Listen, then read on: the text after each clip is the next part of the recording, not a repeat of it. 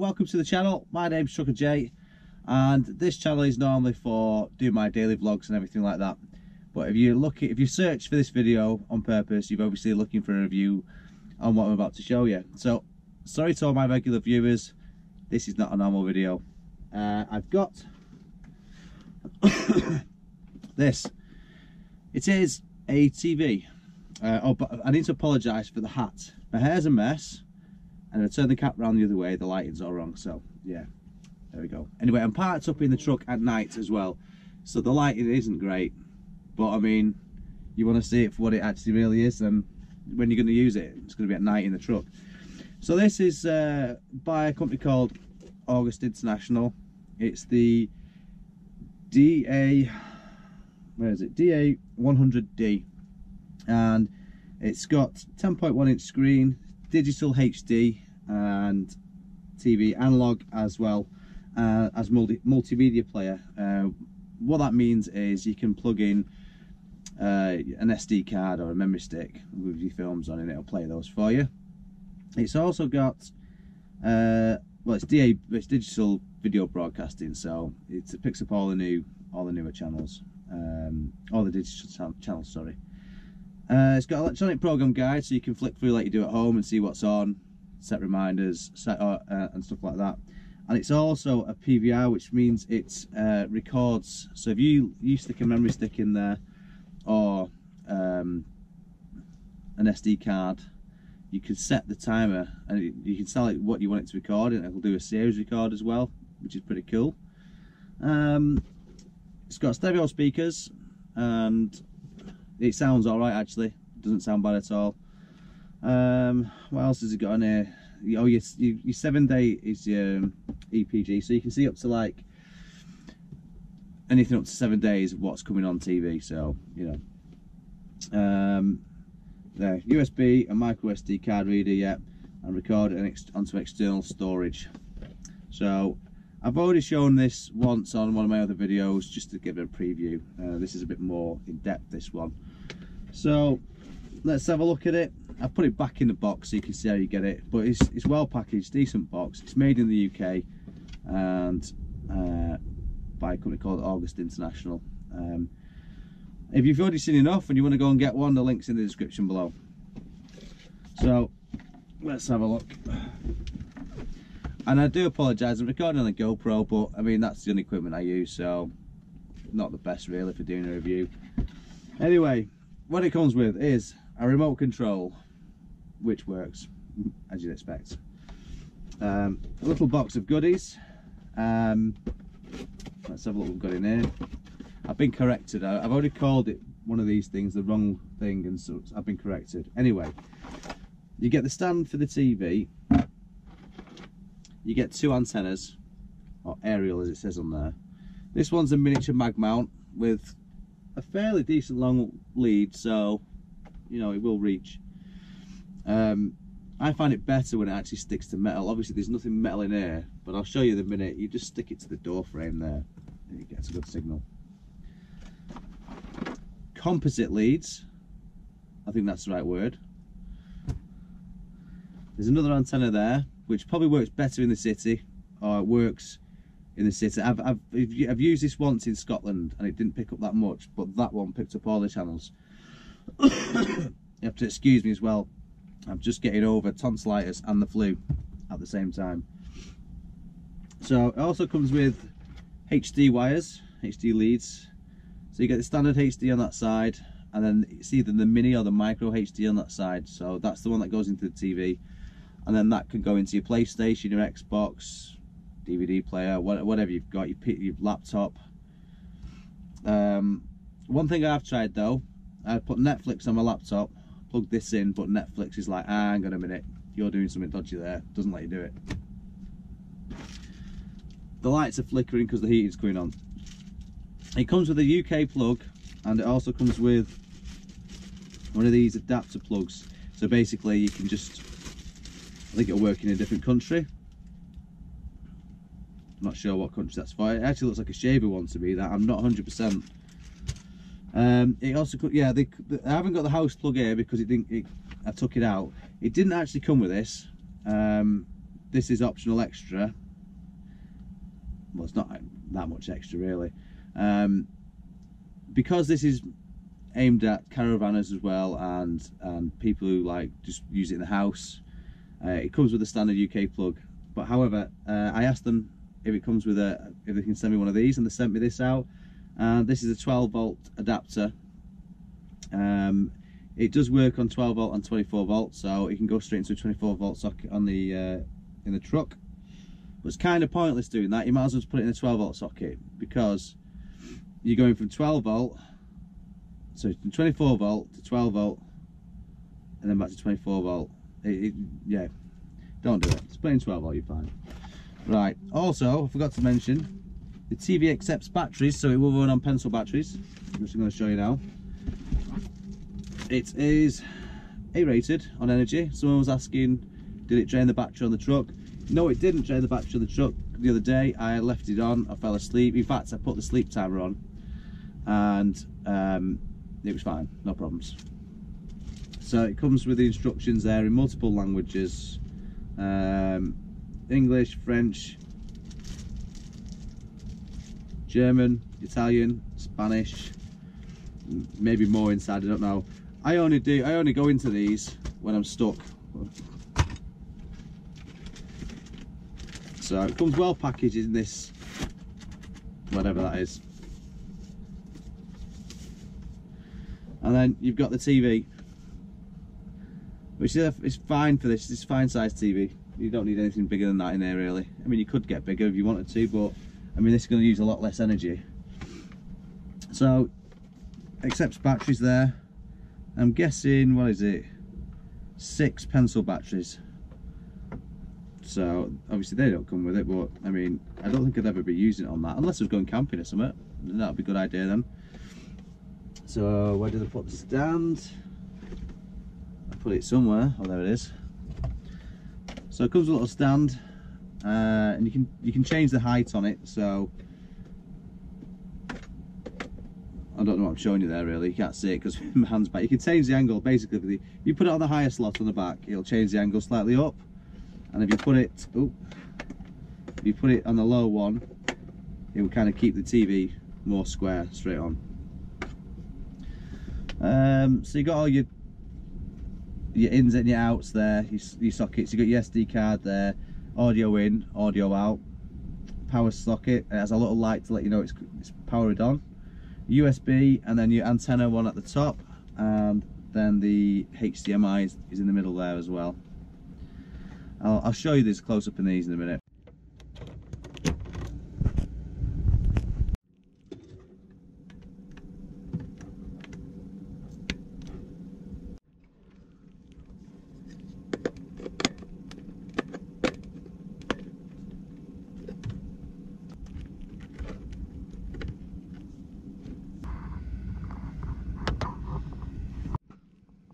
So yeah, this is shaky camera time now. So uh, it's all plugged in, it's all set up, dead quick. So use the uh, remote control, just press, it's, it might be a little bit blurry on the screen because the, the camera the camera settings aren't quite right. I'll try and sort that out in editing.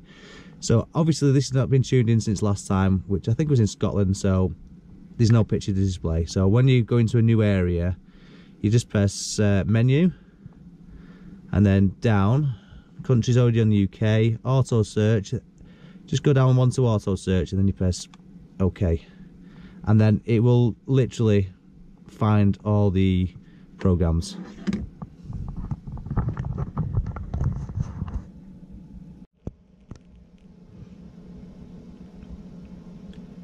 I kind of forgot to press record. I thought I'll do a fast motion of this so you can see it but I kind of I kind of forgot to press the record button. So here you are, halfway through it. It's found 44 programs, uh, one radio station and one data at the moment.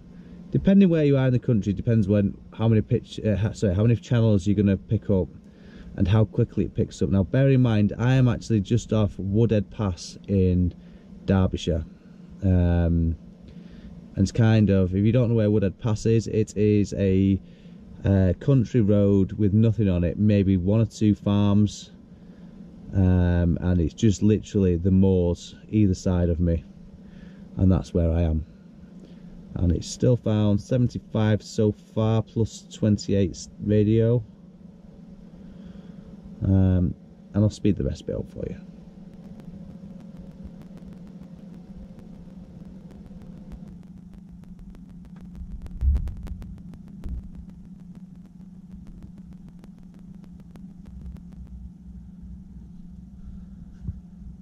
That takes us on into so as you can see, it's done. I've just muted it, but uh, it, you have the uh, the menu still up, so you can just press uh, uh, menu again, and that'll go away. I've just muted as I say. Let's turn that down a little bit. Scotland could see around 50 to 100 millimeters rain over the highest mountains here. So that's uh, there we go. Perfectly clear digital picture. Celsius and the threat of snow received. Pretty damn good. One thing I did do when I first got it, I went onto the settings to see what settings it had, and I think the settings was on. There weren't. A, it wasn't on stereo, so I changed it to stereo, and it made it sound much better. But as you can see there, this is BBC One. First one it goes to BBC One, and then you've got EPG, which is the bottom right button here, or nearly the bottom right button. So you can just oh, point at it first. First time you press it, it's just going to wait a second it's going to try and find out what's on on and there you go it's on it's found out for you. So you can actually scroll through there and you can see what's on. One downside that annoys me a little bit is so so I'm on I'll change from BBC One Yorkshire to BBC Two. Uh, or no ITV there we go. I think oh I, I, ITV news on I'll, I'll watch that so I'll press OK nothing. Press OK on, on ITV itself nothing. It doesn't actually change the channel for you, which is a little bit of an annoyance, but it's not the end of the world because you can just come out of the EC, ECG, EPG, and just change the channel to whatever it was. Um, and you can also see it comes up with the information down at the bottom there as well. Uh, crystal clear picture on every channel. 8 out of 10 cats does countdown probably better skip that one. Uh, but it is a good thing. I like that one. Uh, anyway so as you can see perfectly clear picture. Um, I'm quite impressed with it. So there you have it. Little portable TV that's great for the truck caravan camping whatever. Um, they when I I was actually looking for a TV about five months ago for the truck and the prices on, on them you type in truck TV on Google, you go and do it now and have a look. The prices are ridiculous. So I thought, well, I, I can't really justify spending that really. So I didn't. And then August International said, do you fancy having a look at this TV? Give us an honest, genuine opinion, an honest review. So it's like, okay, we'll, we'll see what it's like. Never heard of the company before. I was expecting it to be a bit naff, to be honest. But anyway, no, it's not. I was really surprised. And I know that KevTee has got one as well. And possibly Truckagenko. Um, maybe me and Kev have sold it to him because I was talking to Kev, uh, KevTee, is another YouTuber, about this. And he's saying absolutely how impressed he was. So I think he's going to do a review on it as well. Um, so look out for his review. In fact, if I've got, if it's out at the same time as this, I'll send you the link. I'll put the link at the bottom of this, this screen here anyway coming down to the price it's on amazon link below as well um, for 139 pound on prime. Um, it's got at the moment at the time of this video i think it's till the end of january there's a 10 percent off it. Also you can use my code which is tjl20 off so trucker jay lea TJL 20 20% and off off obviously. I'll write it down below anyway. So um, you can actually get 30% off right now uh, from 139 pounds which is a really good price I think. Um, one it does have a slight one one only niggle and these are only niggles like the EPG was just a little niggle and this other thing is a niggle. When I have it up on the top of the uh, above above the window pretty much is like a windowsill there and I'm I'm laying in bed watching it I'll show you it's perfectly fine now. I can watch it perfectly. The angle, as you angle it up like that slightly, so basically as I'm getting lower, so it'll be up and I'm getting lower, I'll just simulate that by moving it backwards. The picture goes a bit less clear. Like, you know, on the laptops, have like a privacy screen so people can't see side to side. It's kind of like that, but from underneath. But that's the only niggle I've got with it, really. Other than that, it's faultless. Um, and the EPG, where could do with a little update. I mean, it looks modern enough and it feels modern enough. Just so when you're flicking through the channels, you can just, want that one, you know, on the uh, on the timer. So, yeah, I've not gone through all the features on this. It's got quite a lot of features on there. I do believe, I'm not, I don't think it comes with it though. Um, I do believe there is a way to connect this from from this to your car radio. I think they sell uh, like a maybe it's a dongle or something. But this has got an audio out anyway, and if you've got an audio, uh, a Bluetooth to radio thing in your car lying around that you don't use, well there you go. You can have it, get the sound from this coming out the speakers in the truck or the car or whatever you're watching it in. So, would I recommend it? Yeah, I would. It's uh, officially Trucker Jay recommended. Um, so if you're interested, go and have a look at the uh, link below. It's got the more information on there. Um, I've just given you the overview. Um, definitely worth having a look though, if you especially if you're thinking of getting a TV, portable TV for your truck, caravan car, tent, boat, um, wherever else you'd want a TV really. But because it, it is quite a quick setup, uh, every time I move area, I mean the antennas are stuck on the uh, side of the door. It's not particularly pointing up, it's just pointing sideways or down, whichever way you stick it. And it always gets a signal. Uh, and I think it was 122 channels then it picked up on TV and then plus the radio channels, which is about 40 I think. Um, but it's um, in some areas you'll get more than that. Um, but as I say, I'm not in the best of areas to show you. Um, the other antenna, um, where was it gone? This one there, I mean, let me just unplug that one. Obviously this this might not work very well because it's been tuned in with the antenna, so this may this may flop now and fail. Let's, oh, let's plug it in and find out if it picks anything up. It still does. Little bit of digital line, the digital digital interference lines there then. But that's not bad considering it's been tuned in on a different antenna. Normally if you change antenna on anything you retune it in. Let's see what other channels it'll actually work with now then. Still fine.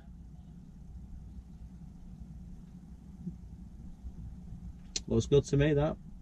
And it's also got a sleep timer as well so um, if you're worried about falling asleep at night you can set it to I think it's 15 20 30 45 an hour something like that. Um, so oh we got subtitles as well.